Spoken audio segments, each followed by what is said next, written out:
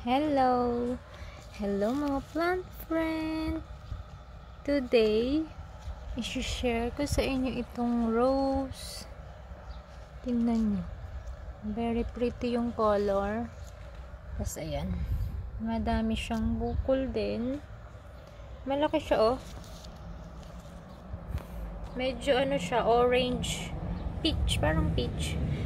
Pero, etong isa naman is parang red. So, hindi ko alam kung dalawang klase yung isa lang to nang binili ko eh. Maybe dalawang klase to. Kasi ganyan oh. Ganyan siya. Baka dalawang klase nga. Not sure.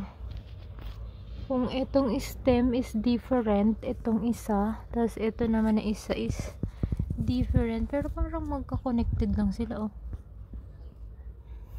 Ito meron din. Pero it, ito yung color talaga niya is red. Ito naman, peach. So, ayan siya. Yan yung tinanim ko last last last month ata.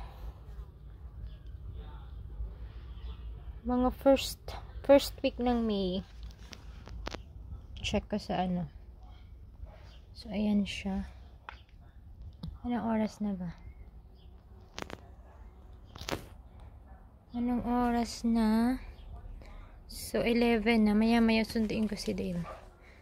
Tsaka, ito yung, tingnan nyo yung leaves nila. Pinapakita ko yung leaves kasi, iba-iba yung leaves ng roses din. Tsaka stem.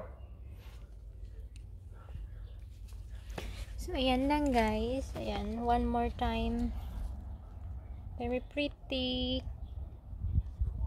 So, meron siyang 1, 2, 3, 4, 4, 5 na bukol na paparating. Pero tingnan nyo, medyo ano siya oh. May damage. Ito naman siya oh, may, may damage din. wala na yung mga climatis ko. Ayan na yung pumalit. Marigold tsaka ito.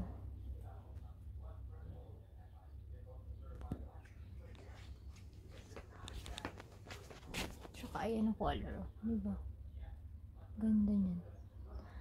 so ayan lang guys. Thank you for watching always. Bye bye